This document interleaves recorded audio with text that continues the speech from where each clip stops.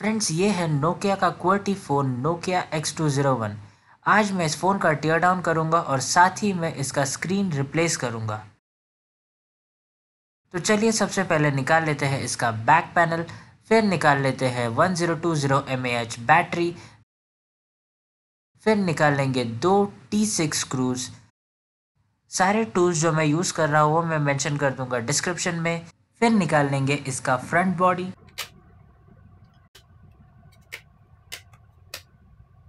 फिर लगा लेते हैं ये बैटरी एंड कर लेते हैं इसको ऑन एंड आप देख सकते हैं ये एलईडी लाइट्स ऑन हो रहे हैं बट ये स्क्रीन नहीं चल पा रहा है. फिर निकाल लेते हैं चार T six screws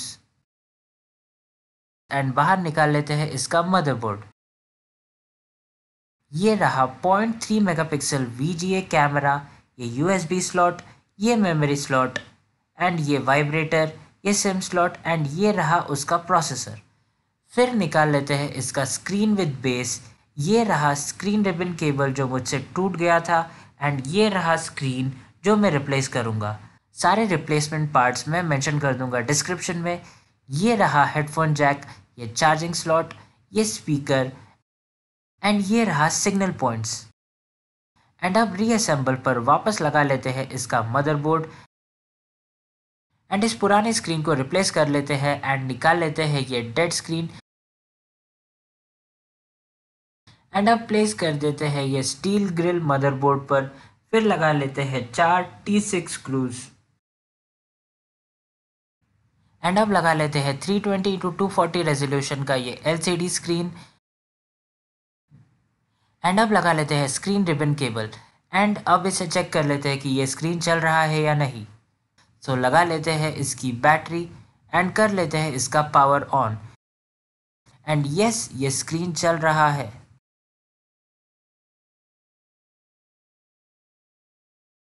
and up कर देते हैं इसका पावर डाउन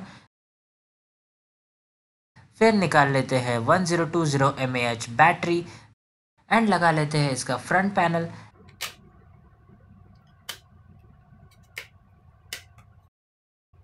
एंड आखिर में दो टी सिक्स स्क्रूज एंड लगा लेते हैं इसका battery and back cover and कर लेते हैं इसका पावर ऑन